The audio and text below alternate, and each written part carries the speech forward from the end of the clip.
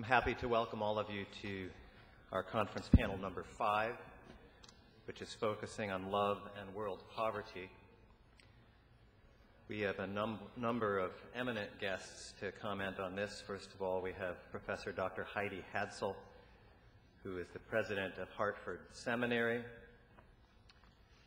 We have Amina Zalmina Rasul Bernardo, who is the lead convener of the Philippine Council for Islam and Democracy, former presidential advisor and concurrent chair. We're pleased to welcome as well Imam Feisal Abdul Rauf, co-founder and chairman of the board of the Cordoba Initiative, founder of the ASMA Society, the American Society for Muslim Advancement, and also uh, the Reverend Dr. Emilie Townes, Associate Dean for Academic Affairs at Yale Divinity School, Andrew Mellon Professor of African American Religion and Theology, um,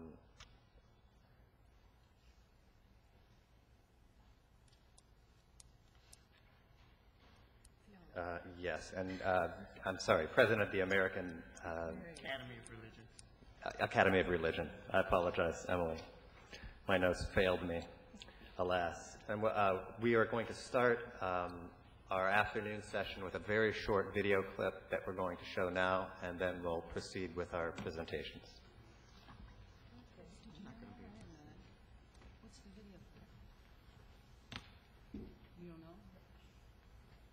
No, someone. Uh, was this one you dropped?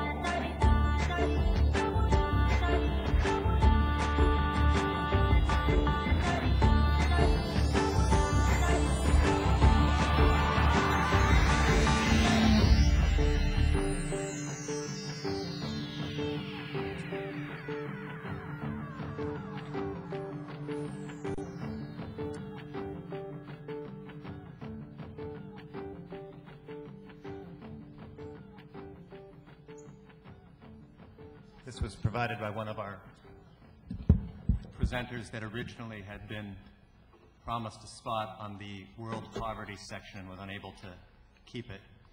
And so these are, this is in uh, support of the Millennium Development Goals, which uh, are obviously relevant to the topic at hand. With no further ado, I'll yield the floor to Heidi Hadsell of Hartford Seminary.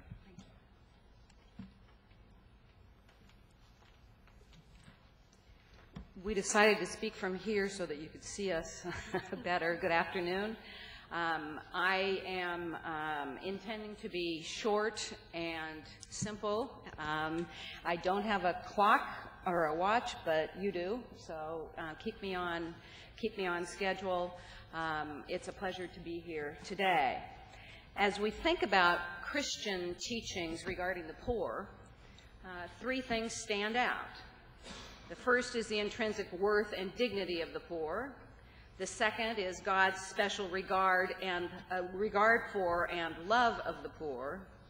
And the third is an awareness that at a certain point, a point that isn't absolute equality, but at a certain point, uh, the gaps between rich and poor make human community not only unjust, but untenable. Um, I'm going to talk very briefly about each of these and then move uh, forward.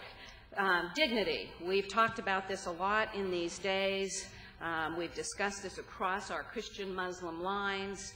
I think we agree that as children of God, uh, the poor, like anyone else, are bearers of intrinsic worth and dignity, uh, worth and dignity, and are always to be treated as such. Uh, intrinsic worth and dignity um, and uh, we talked a few days ago about um, finding God in the face of the poor. Second, uh, while God loves all of humanity, God, Christian theology teaches us, Jesus teaches us, has a special regard for the poor. So God loves all of humanity, special regard for the poor. There are biblical texts which suggest that through their poverty, the poor are often in a better position than the rest of us to be able to love God fully. Through their poverty, often in a better position than the rest of us to be able to love God fully.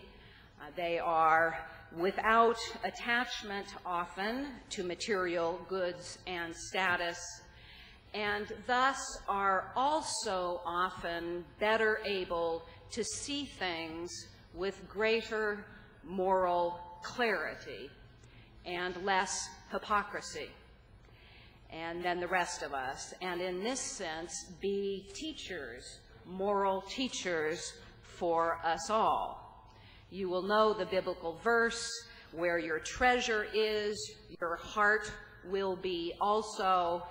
Uh, and um, uh, the Bible teaches us very clearly both about the special privilege, although it doesn't advocate poverty, but the special privilege of the poor in terms of moral, clarity, and the tendency um, that um, the rich and even the not so rich have towards uh, hypocrisy um, wishing to see the world um, in ways that favor themselves um, and thus not seeing it very clearly. Again, the observation is by no means used in the Bible to advocate keeping poor poor, just uh, pointing out a special perspective of the poor. And then finally, while absolute material equality is not, as far as I can tell, advocated in biblical texts, there is indeed a sense that great inequality between rich and poor is indeed destructive of human community and therefore destructive of human relationship with God and with human flourishing, and it is fundamentally unjust. Therefore, Christians are called to love, respect, and be in solidarity with the poor, learn from and with the poor, work actively for justice for the poor, and indeed, there are a number of biblical texts which indicate that uh, loving the poor is tantamount to loving God. Indeed, loving the poor, the homeless, the needy, the weak, the widow, the unprotected are the acid tests of faithfulness.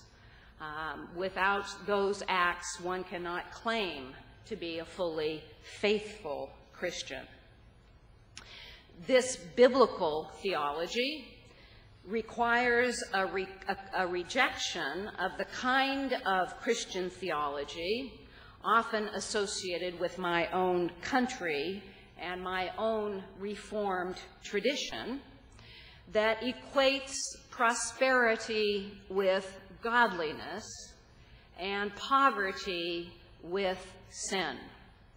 Uh, that is not biblical theology, um, although one hears that theology. Um, and it also requires, the biblical theology requires a rejection of the, the, the theology, the so-called theology of prosperity, which is common in Christianity around the world today, um, in which Christianity is viewed as a way um, essentially to find favor with God and therefore wealth. In terms of global poverty, although this ethic, this Christian ethic, was developed, you know, several thousand years ago and in very intimate circumstances and much smaller communities, in terms of global poverty, this, this ethic translates into a call to take active measures to combat poverty around the world, to seek for structural justice nationally and internationally. The Catholic Church has uh, long developed a substantive critique of economic justice and uh, the injustices of capitalism uh, and there are many other examples as well within the Christian communions of attempts to develop theologies of, um, that um, begin with the basic theology um, I have just uh, outlined from the Bible. Another example would be the World Alliance of Reformed Churches, which has done considerable work in this area and argues that for Christians, um, who seek to address the suffering and the injustice caused by poverty, the massive economic inequality and injustice, uh, especially but not exclusively between North and South, is really a test of one's faith. Um, and it should be seen as a test of one's faith.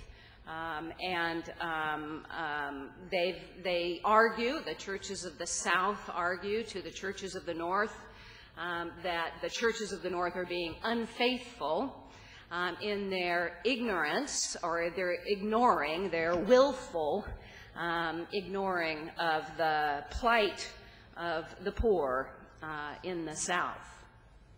Similarly, the World Council of Churches has worked for decades on issues of global economic injustice um, and works today still with colleagues from the UN to do things like support the UN Development Goals, which we've just seen a film about.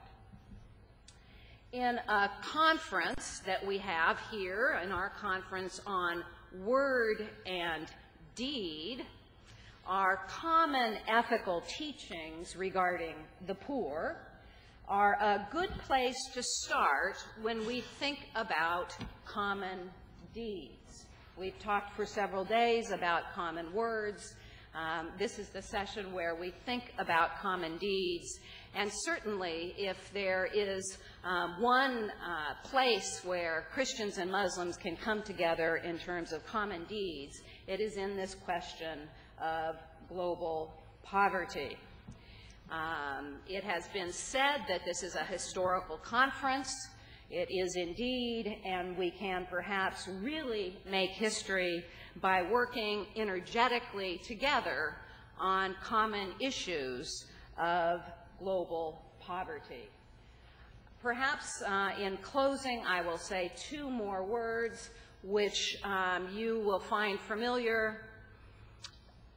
The first is just to observe, as biblical texts observe um, continuously, over and over again, um, the challenge of breaking through human egoism, human self-satisfaction, human ability to lie to ourselves and deceive ourselves, um, and um, all of the ways we find to hide and um, therefore not address the issues of uh, global poverty, and uh, those will be familiar to Muslims and well as well. And finally, perhaps the second challenge, which is also a common challenge um, for Muslims and Christians, is to extend our care and our concern um, for the poor uh, beyond our poor, uh, beyond the poor of our country or our religion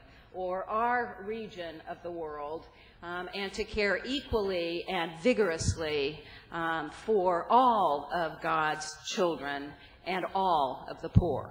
Thank you very much. Thank you, Professor Hadsell.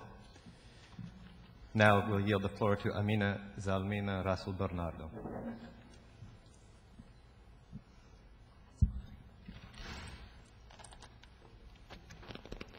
Assalamu alaikum. Peace be upon you all. As all this afternoon. I've decided to write everything down so I can keep to the 10 minutes because otherwise I might um, extend. I'm going to uh, talk to you a little bit today about the situation in our part of the world, um, the poverty in the midst of conflict, and what we are doing about it, uh, specifically women's groups and interfaith uh, organizations. I consider myself a very fortunate person in as much as Muslims can consider themselves fortunate these days. I am a Muslim woman born in Southeast Asia.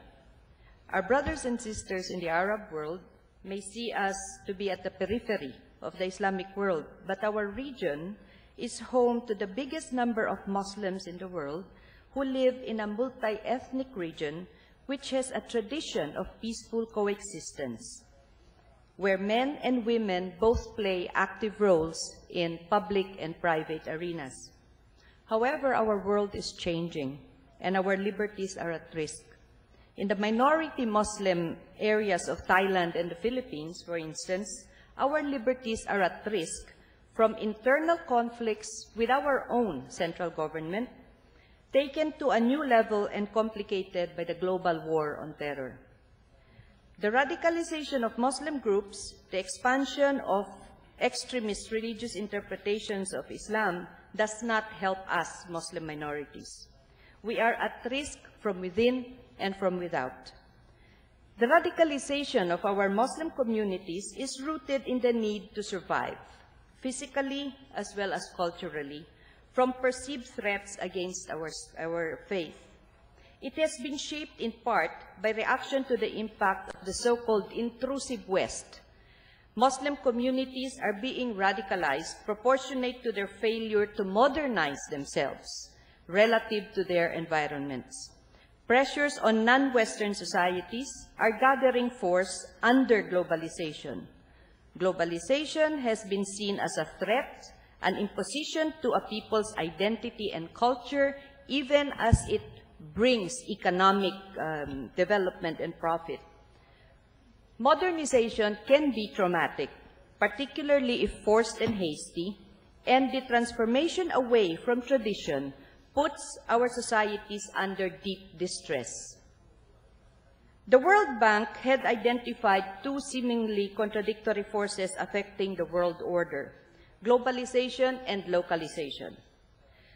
Globalization forces our governments to go beyond their borders in order to cope up with the progressive integration of world economies. the, while localization manifests itself in the increasing assertion of local people for political or religious identities. This seems to be one of the paradoxes of globalization. As world capital, trade, finance become integrated, local identities tend to resist these homogenizing processes. This resistance post 9-11 has taken on added impetus among Muslim societies. Globalization has been viewed by some as a weapon against us. It is in this context that we should address the radicalization of our Muslim communities.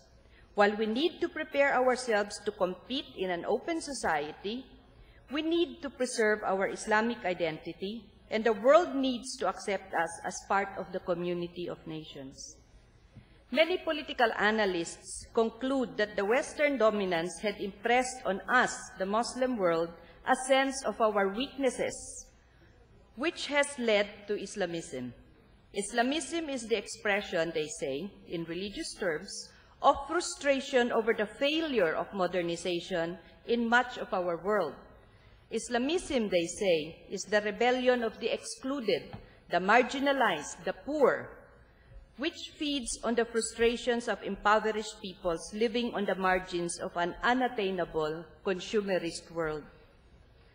Last month in Jakarta, over 200 leaders of the world's religions and faith-based organizations came together, came together to grapple with these issues during the Second World Peace Forum, which was chaired by one of our co-delegates here, uh, Pak Din Syamsuddin.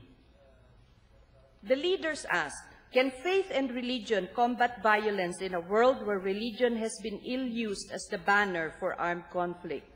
When governments are embroiled in war, what can civil society and faith-based organizations do for peace? When the majority of the world's population are poor and marginalized, can faith-based organizations be the lever to equalize the gains of globalization for the few? Muhammadiyah President Syamsuddin, who chaired the conference, hoped that the forum would not only provide a venue for dialogues of peace among key leaders of world civilizations, but also to explore how the values of humanity, common destiny, and one responsibility of humankind could serve as an integrating force in efforts to eradicate the problems of violence and ensure world peace. I was invited to that conference to speak on the Muslim situation eh, in the Philippines, and I will share with you what I said then. Twelve years ago, my government signed a final peace agreement with the Moro National Liberation Front. This was in 1996. Today, 12 years after, peace is still a dream, very elusive, and armed conflict has become the norm. Poverty, inequity, injustice are factors that continue to radicalize our communities. Radicalization in the Philippines, and I think this is also happening in southern Thailand, is also fueled by the absence of the rule of law in areas of conflict. We have rule of the lawless in the areas of conflict, where those who have arms rule. Add to this the stark economic realities in my homeland in Muslim Mindanao. For decades now, Muslim Mindanao has suffered.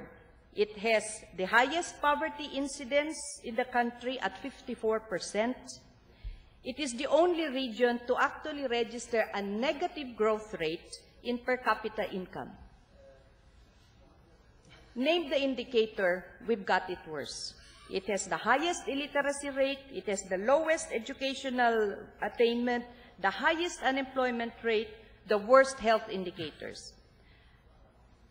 Everything is bad where we come from, but it did not used to be like this. Before armed conflicts began, Muslim Mindanao used to be relatively peaceful and relatively progressive.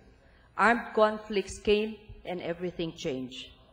Unfortunately, Islam is being used by radical elements to recruit supporters as a unifying cause for their struggle, as if to say, we are poor and oppressed because we are Muslims. Unfortunately, long-suffering uh, Muslims have responded to this call, and this is a dangerous trend which must be neutralized. Unfortunately, new factors, criminality, human rights violations as the, as the state wars on terrorists, corruption, inability of the state to serve and protect its citizens, these are creating tensions that could crack our fragile peace. We need the dialogues to focus attention on the real causes of the conflict, and these have very little to do with God. We in the Philippines are lucky in that interfaith dialogues have become an integral part of peace-building efforts. The peoples of Mindanao, who subscribe to different faiths, are not at war with each other, and we know that. We coexist, but as of today, we coexist in a fragile peace that can shatter quite easily. Since the early 70s, various institutions and civil society groups in Mindanao have initiated interfaith activities and continue to be committed to advancing interfaith dialogue among different faith communities in Mindanao.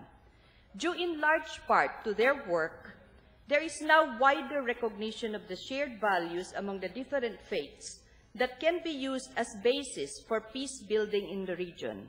Some of you have actually been to Mindanao and have shared with us, helped us in these initiatives to bring peace to our region.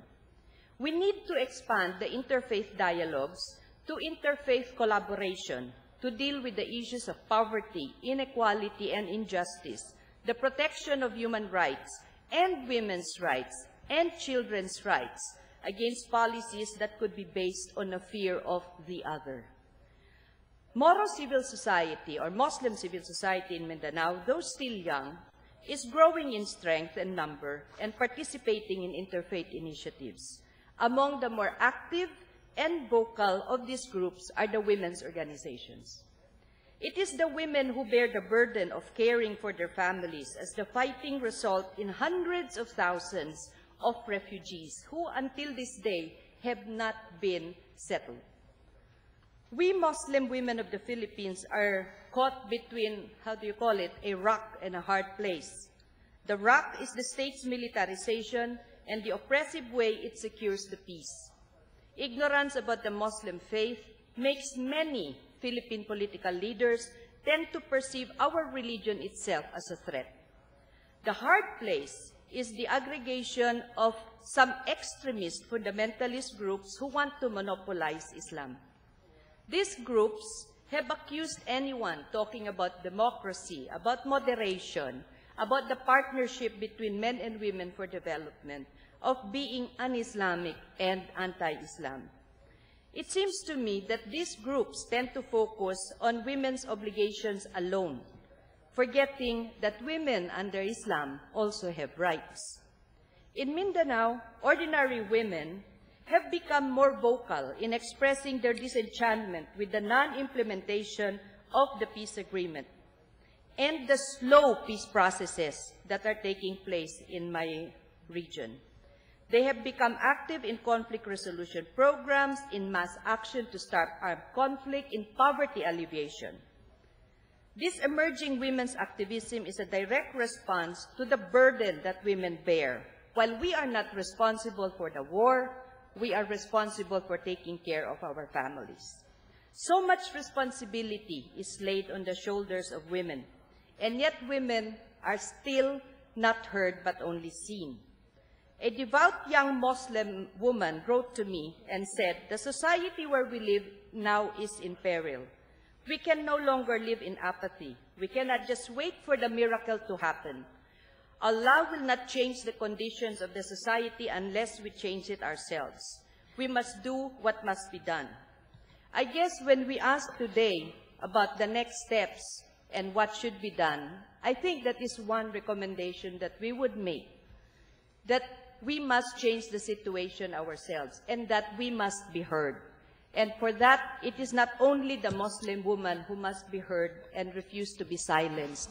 I think all of us must go out there and be heard so that the common word will be brought to all of the corners of our communities, of the globe, and maybe then we can see the reforms in the community that will finally bring peace and show to all that love of God and love of neighbor is within us. Thank you.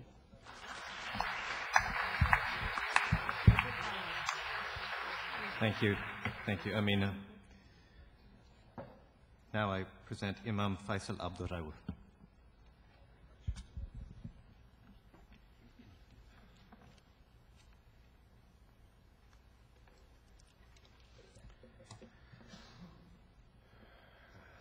بسم الله الرحمن الرحيم in the name of Allah, the most merciful, the, the ever merciful,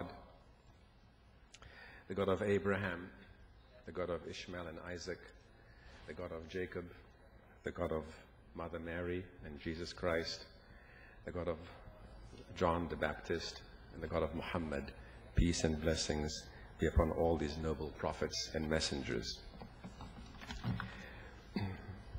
I would like to thank uh, Dr. Volf, His Highness Prince Ghazi, and all of those who made enormous sacrifices to invite us and to give us the opportunity to meet with many dear and beloved friends and brothers and sisters and to make new ones and to work and to share together the work that we are doing to bring about a common word between Christians and Muslims.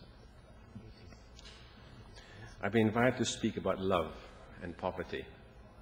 I'd like to begin to share with you some thoughts I had about my own personal struggle with the meaning of these terms. When I was a young lad, I was accused by a lady whose heart I was pursuing that I was an incurable romantic. Oh, Feisal, you're in love with love. And as I began to learn about other religions and the, faith, the Christian tradition, I recognized that perhaps my love with love, and since God is love, also meant that I was in love with God. And as I embarked on my spiritual journey, I began to ask myself, what does it mean to love God?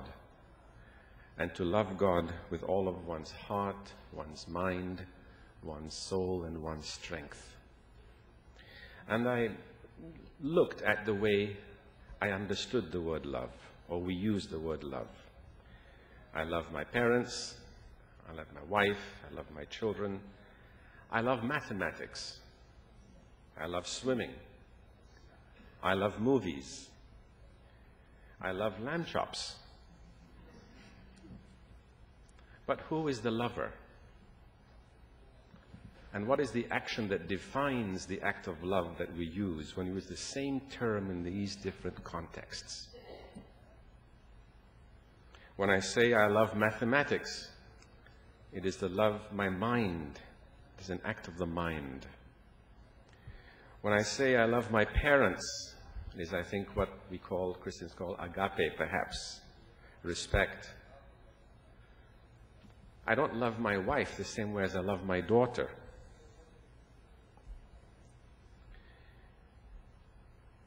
Uh, I love swimming is a physical action. I love lamb chops or lamb kebabs means I love to slaughter a lamb, skewer it, grill it, and eat it. Now, there have been cases that we've read about, about people who have done that to human beings, who have cut them up and boiled them and eaten them. But the, the, the question here is how then do we love God? What is the action that I have to do to demonstrate that I am loving God? Is it a physical action? Is it a mental action? And, and, and how do I know that God loves me? What are the signs? These are among the things I struggled with in my spiritual journey.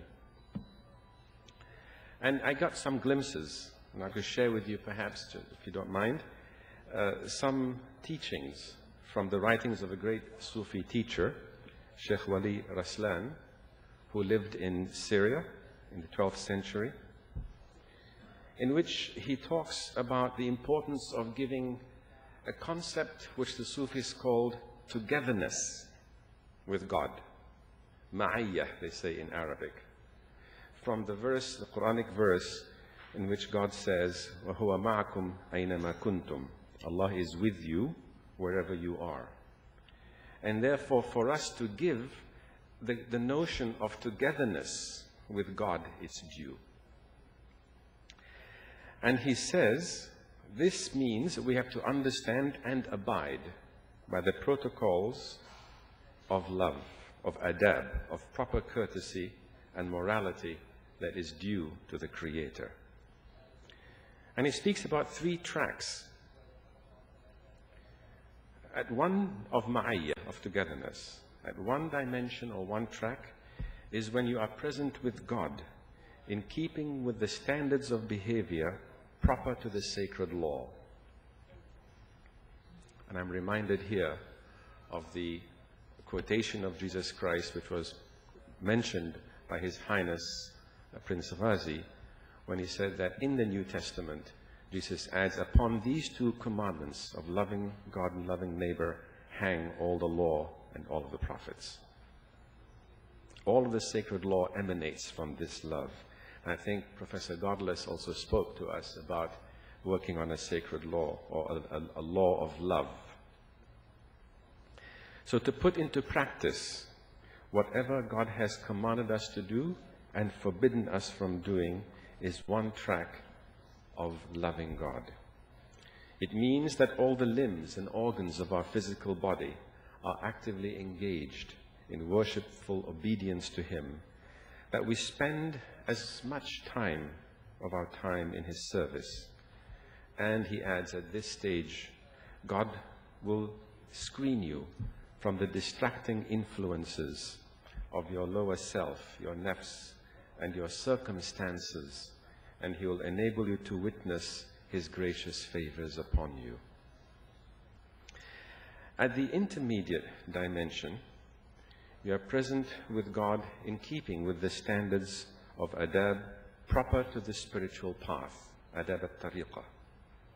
This means that you are cognizant of your personal non-existence. You are in relation to the service, in relation to the Creator, in relation to the service in which you are engaged, since there is no work more eagerly hoped for by the seeker than the work that has no visible connection with you. At the next dimension, or some say the highest degree, you are present with God in keeping with the standards of behavior proper to reality, adab al-haqiqah. This means that you recognize what belongs to you and what belongs to Him, to the Creator. For the reality is that to you, to us, belong poverty, belong weakness, belong incapacity, belong ignorance, and belong abject humility, while to the Creator belong affluence, strength, power, wisdom, and glory. This is what our brother Professor Mahmoud Ayoub pointed out when he talked about the poverty of power, poverty, lack of power, lack of affluence, lack of strength. And when you realize that, Sheikh Raslan says, that to you belong non-existence and to God belongs all being. When you recognize that you are contingent reality, a zero, and Allah, the Creator, is absolute reality and being, and when you are present and walk with God with this awareness, and in keeping with these standards of behavior, then your haqiqah, your reality, is in sync with God's reality, and then you allow your envelope to be the theater or the canvas on which God's infinity and splendor intersects your zeroness.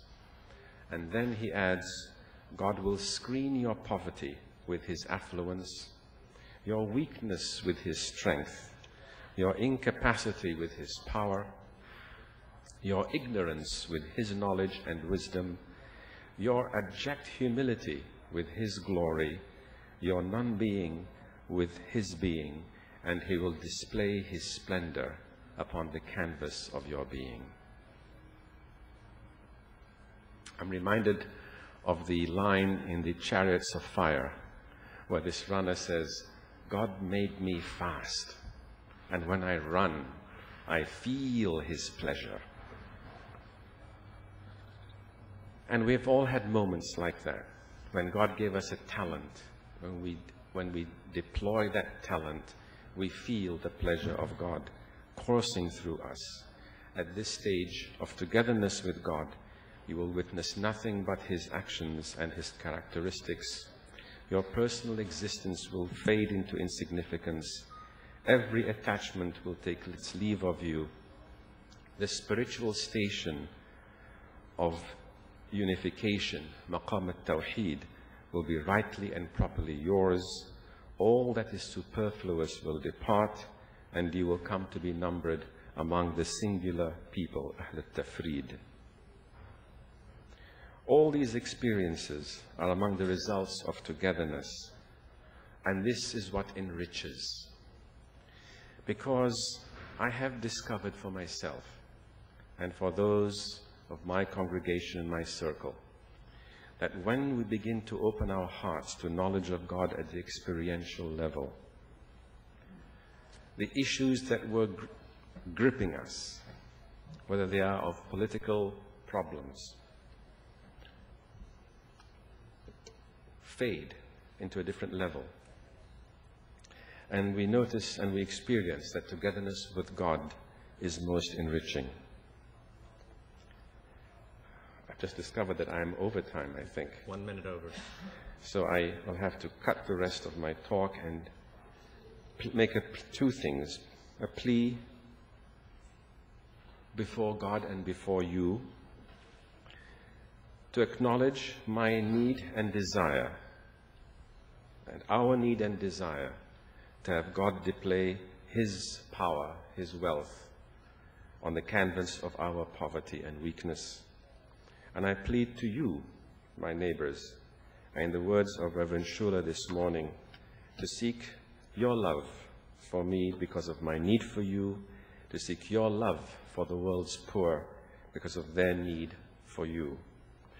And I pray to the one God whom we both adore, whom we both worship and serve, that He grant us the strength, the capacity, the patience, and the persistence to work towards an era, a time, when our Christian and Muslim communities will live by our one common word of God, whether the word of God made flesh in the person and teachings of Jesus Christ, or the word of God made speech in the teachings of the Noble Quran. Ameen, and may God bless us, and I seek your forgiveness for my overtime. Thank you very much. Thank you, Imam Feisal. No forgiveness needed. We appreciate your words. We're happy to welcome uh, Dr. Emilie Townes of Yale Divinity School.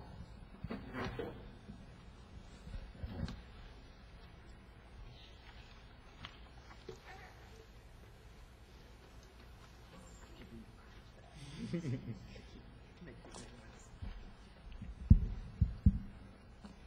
afternoon.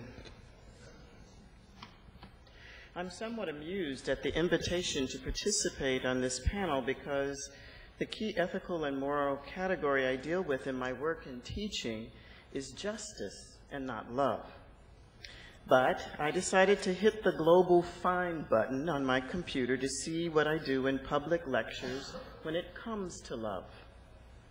I realized in that search that I actually do talk about love a great deal, and it is always paired with a conversation about justice.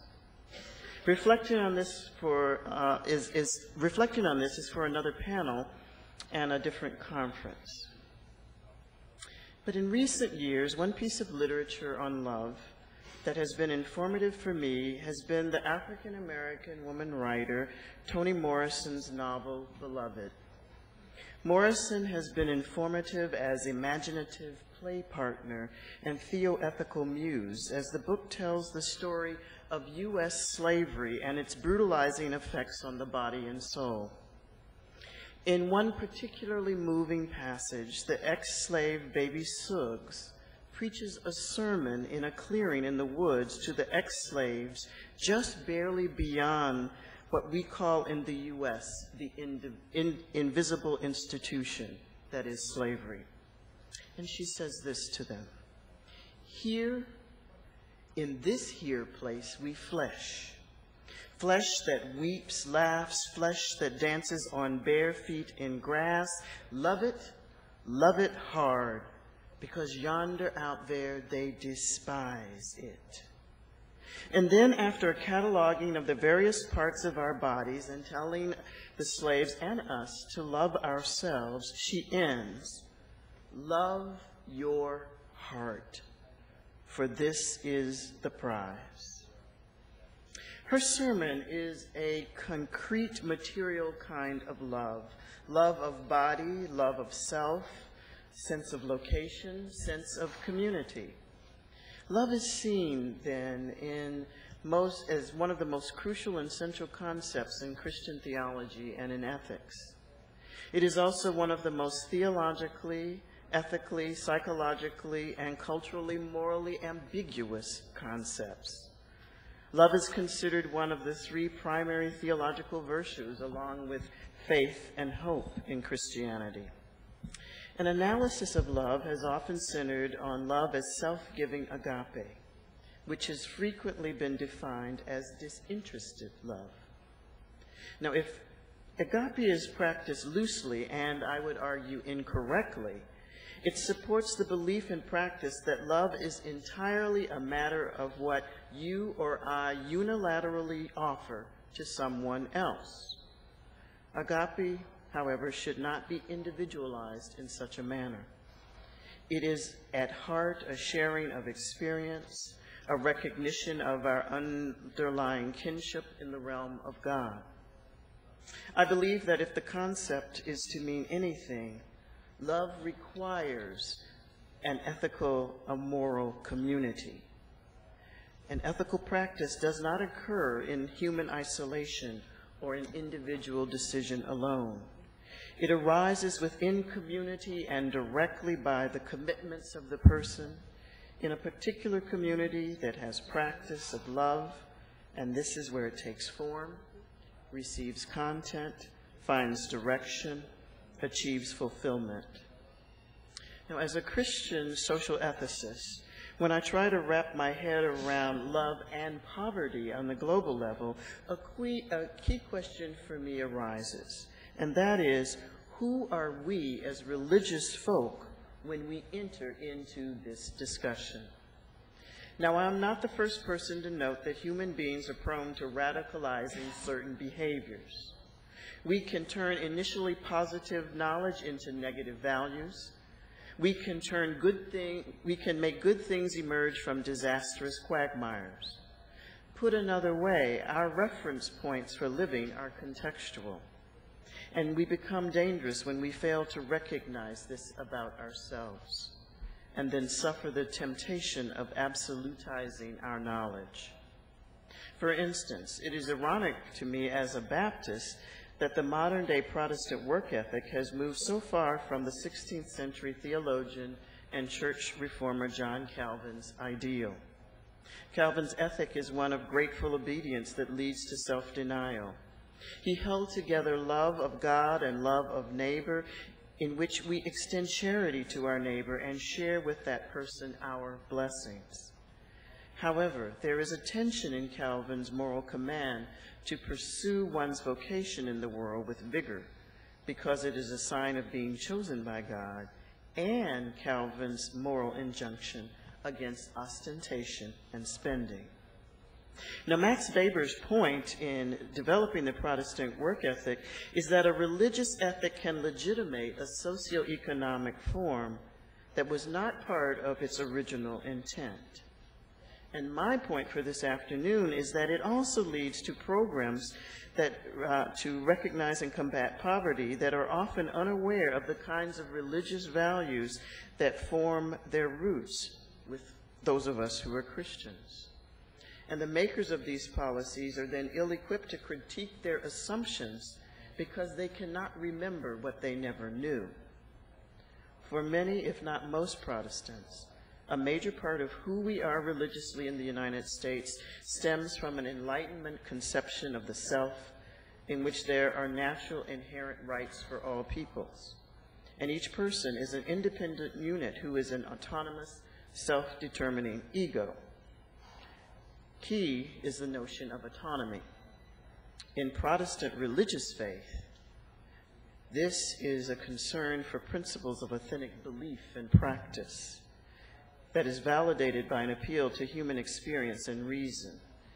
And in its worst form, it means we are the world. This has loosed an unrestrained or rampant individualism in many of our private and public beliefs and practices in the U.S. that stress personal responsibility and despises any hint or the reality of dependency and, more importantly, our interrelationship with one another. Stressing personal responsibility while detesting dependency encourages conceiving society as a necessary evil to monitor so that it does not inhibit our personal freedoms. Society shouldn't get in the way of our individuality or our ability, often seen as God given, if not ordained by God, to use reason and personal experience to justify all manner of private behavior and inept attempts to address poverty. Stressing personal responsibility while detesting dependency often wedges the diversity of human isness into a stultifying and, in some cases, death dealing homogeneity that is healthy for a precious and elite few. So, as Christianity has defended the autonomy of the individual to stress the value of every human being, of our freedom, and great respect owed to each and every one of us, we have, in far too many ways, radicalized this notion such that we are now reaping a bitter harvest from the unrestrained exercise of our passion for possessing, for self assertion, for power, as individuals, as a nation, and in our social institutions, and far too often in our homes and in our religious worlds. However, the Protestant work ethic has helped build large segments of our culture and society, and it carved out enormous national wealth based on a capitalist economy. It has often been one of the engines fueling some movements for social change such as the civil rights movements in the United States, recent movements in public housing complexes, often led by women, to take back and define their living spaces so they are safe and equitable and just. Economic empowerment, in which churches set up independent corporations to address community problems and issues. All these and more rest to varying degrees on the values of hard work and thrift. The difference in these movements and an understanding of society as a necessary evil is that their understanding of society in many, if not most, segments of poor communities in the U.S. and in other countries is the notion of uninhibited personal freedom remains a utopian folly. Advancing public policies that see society as a necessary evil has truncated the lives of the poor, Many black folk in the United States see current public policies as forms of genocide. This is even more deadly when we consider public policies that have a direct impact on the lives of black women and children. Now, this becomes a muddle for many of us as we think through how we are going to um, understand poverty and constrained opportunity. We rarely do more than listen to those who must endure and survive inequities when we think about poverty. But we, perhaps one of the reasons we remain so skeptical in the U.S. about our government's ability to do much about poverty, either here or on the global stage, is that our theological worldviews do not offer us much of an alternative either. And this we must change. For if we refuse to yoke our individual selves and concerns within the matrix of life with others, we will never be able to truly engage in a deep and abiding faith that lives with a joyous yet determined spirit of justice, love, and peace. Our traditional religious and spiritual faith talk will take us away from our daily needs. We will be even more complicit with the growing numbers of the poor we see and don't see in our midst on this planet. For religious folk and Christianity itself will no longer be the sigh of the oppressed or the heart of the world without a heart, as Karl Marx said so well. Now, I believe with every fiber of my being that we are called to love one another by finding ways to live that love through acts of justice, in part by eradicating poverty within our countries and on the global stage, and certainly within our religious homes, morning by morning and day by day, because here in this place we are flesh and we are spirit, and we must love it and love ourselves and love one another hard. Thank you. My name is Bola Ajibola. I am from Nigeria.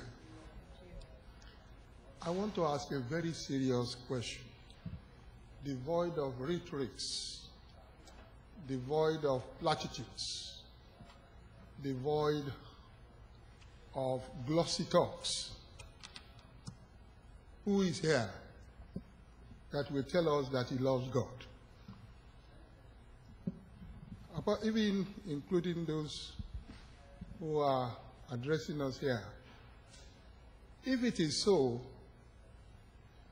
what is it that you can tell us to indicate or to demonstrate or to show us that you love God? Let me tell you a story, a short story some research fellows in the country wanted to know about this problem of who loves God and who believes in God. And they quickly went into a mosque where people were, uh, were praying. And they got there with a knife. And they said to the people there, if there is anybody here who believes and who loves God, Please stand up, you will be killed immediately.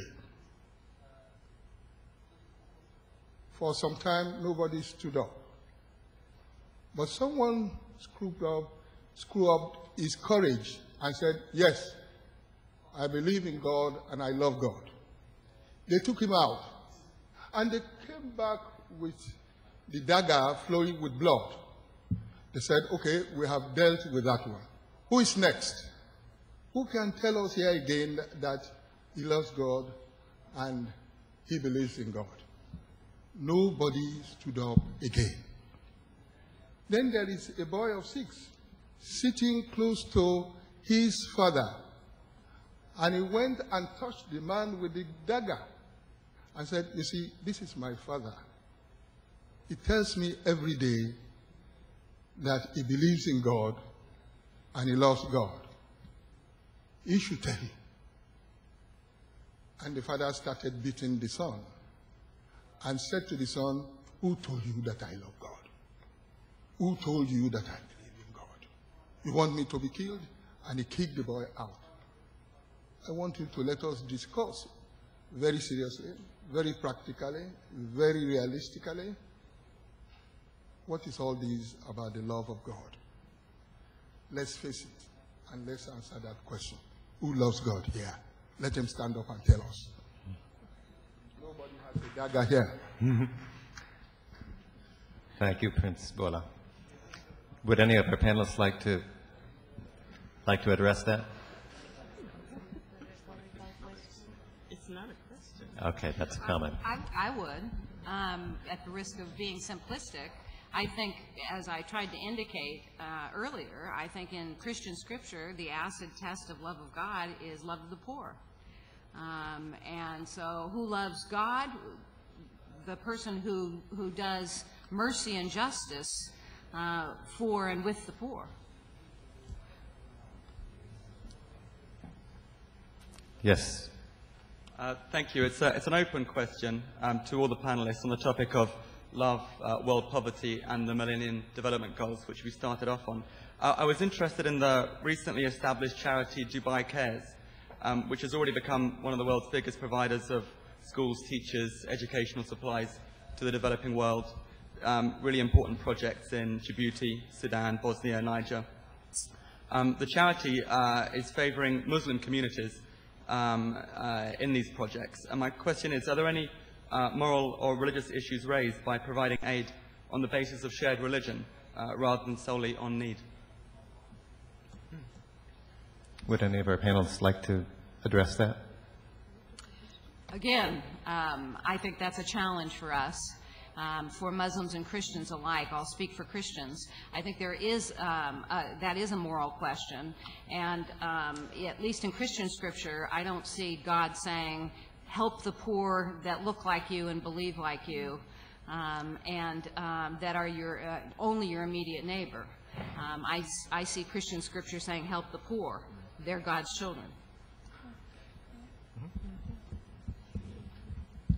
Well, from from where we come from, um, the the Muslim organizations have there's a very big imbalance between the capacity of the Muslim organizations, religious organizations, and the Christian organizations. And it has become a partnership between the faith-based Christian organizations and the faith-based Muslim organizations for funding support to flow from those who have. And there is, uh, there is no problem among the ulama organizations in having this kind of partnership because at the end of the day, you are talking about protecting your neighborhood, loving your neighbor. So it does not really matter where the resources come from as long as it goes to protection of children and family and women. And this is how the two faiths um, show their love for each other. Now, um, the one moral question, however, is the source of the funding.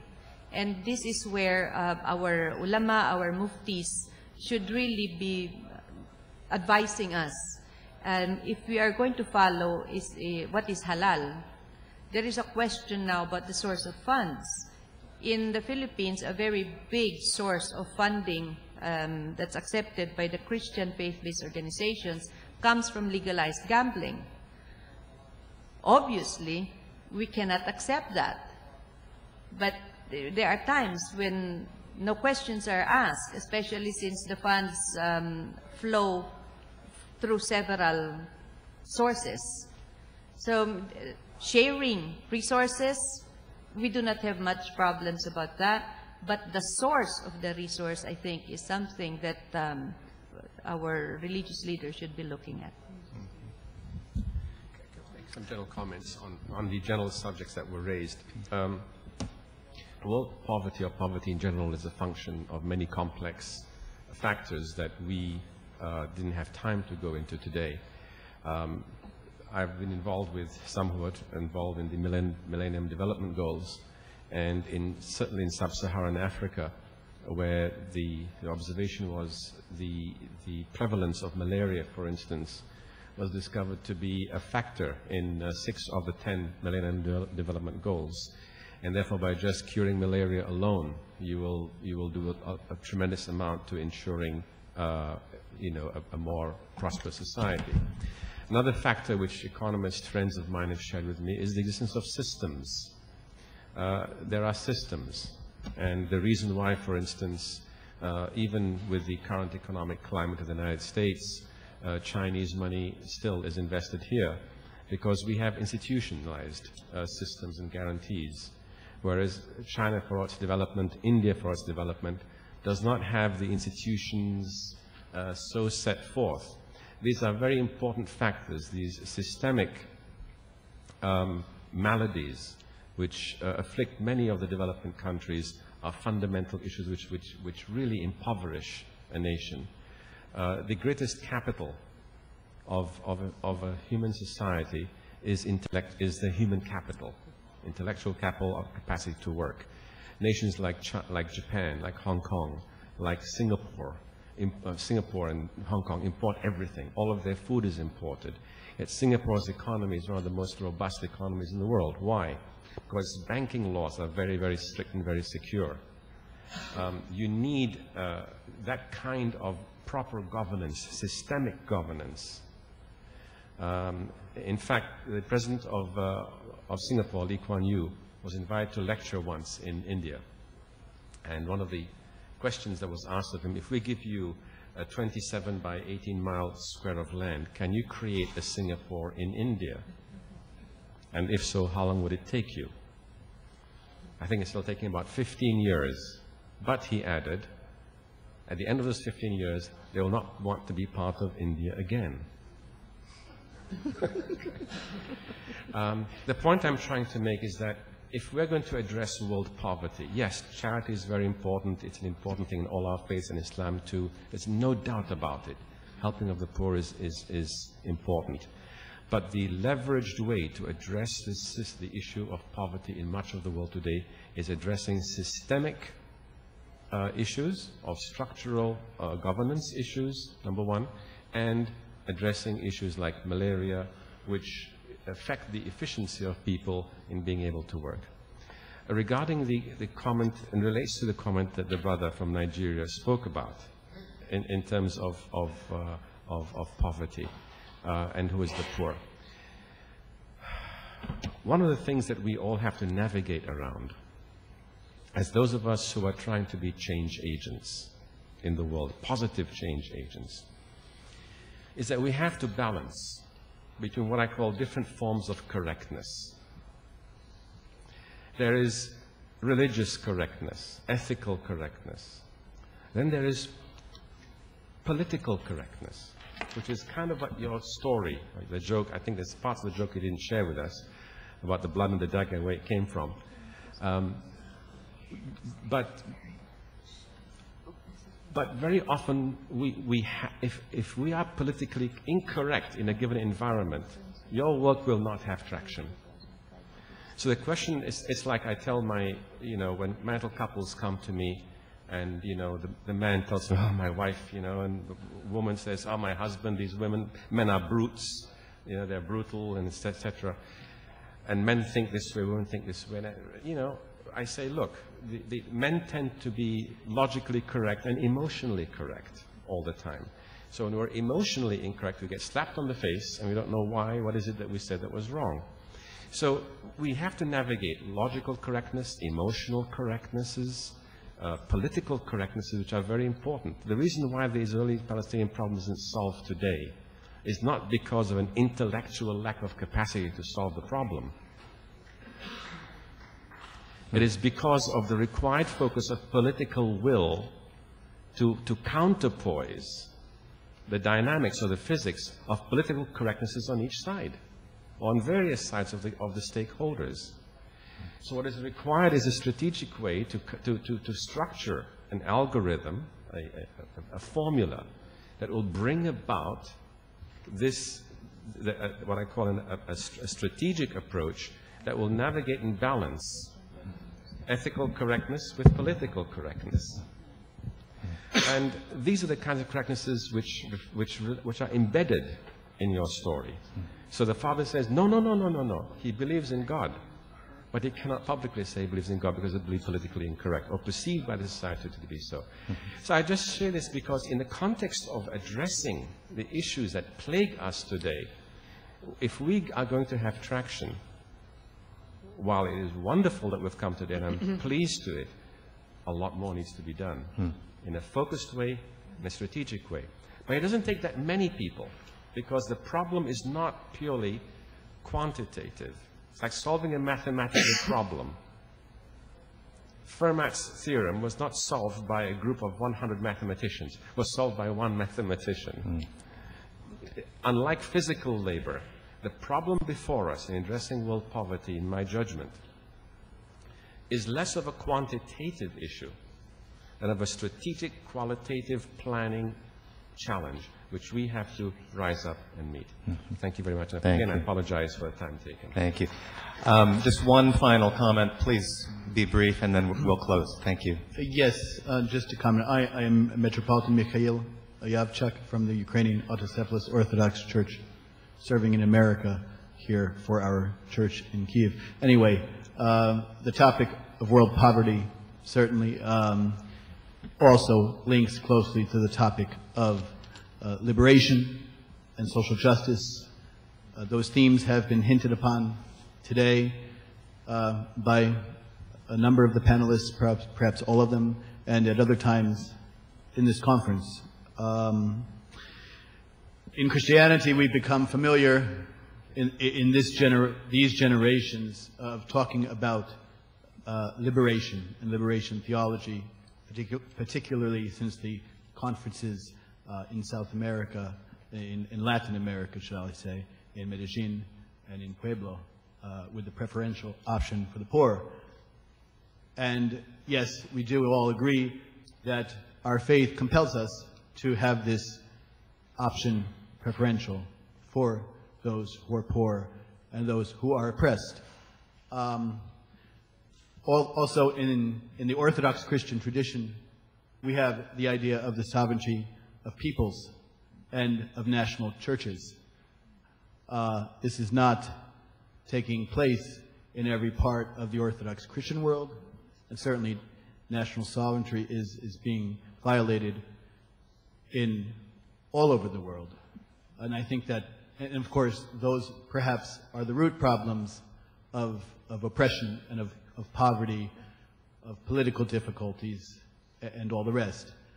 Uh, I, I- would like to ask the panel if, if they have perhaps a, we can reach a common word on a theology of liberation and of justice between Christianity and Islam, uh, where we can share and combine our ideas on that and on the, the right of sovereignty of peoples. I'll just permit one Everybody's person to, to, uh, to comment on that. I think that part of um, the challenge for um, both of our faith communities is to get a clear sense of what we even mean by liberation. I'm not always quite clear. And often, um, when I'm working um, in communities, both here and in Brazil, um, I find that um, there's a tendency for folks to want to rely on, well, the real problem is spiritual, or the real problem is material. And until we can see ways within our faith traditions that we um, refuse to break those two apart and bring both the spiritual and the concrete together, so that we understand both um, what we would call in Christianity witnessing, social witness with spirituality. I think it will be hard for us to really develop um, what I think would be a kind of liberation theology that really speaks to the complex issues that the Imam has talked about and how poverty is not a single issue thing. Um, neither is the rest of our living. So if we could begin to develop those ways of thinking in terms of the complexity of our worlds, um, and to find the resources within our various traditions to get at that and combine both the material and the spiritual, then I think we have the, a chance of beginning to develop a really um, God-pleasing understanding of liberation. One minute, Oh, and then we'll close. This is an important issue because this is something that's happening in, um, in the Philippines. Self-determination is the issue for the Muslim tribes, as we have been fighting for decades against the state. And over the last um, decades, the Catholic churches and the Christian churches have actually been with us in the presentation of the issue of self-determination because they recognize the validity of the claims of the Muslim tribes. The difference, of course, is that um, the arena must be the peaceful arena of political change. And they cannot um, agree to the armed conflict that's being waged by the Liberation Front. Luckily for us, both Liberation Fronts are undergoing peace processes. We had a signing in 1996 with the Moro National Liberation Front, and um, next week, there will be a signing with the other, with the Moro Islamic Liberation Front. Thank you. Thank you. Um, uh, yes, uh, Sheikh Al Tamimi, uh, just thank you. I think that the issue of poverty is central, and the cure of this issue of poverty requires us it requires us applying loving God having faith in God Imam Ali said poverty is almost becoming atheism or infidelism.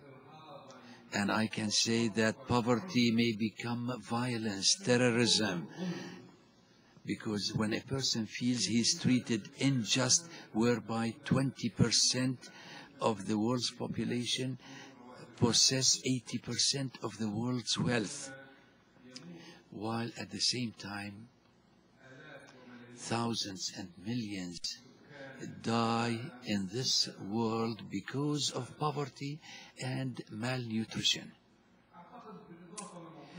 I think in addition to uh, zakat and uh, alms giving, even though zakat is one of the pillars of Islam as we know, it's a right, it's a duty, it's a duty that the poor have regarding the wealth of the rich we have to create comprehensive development, especially in third world countries. In the south,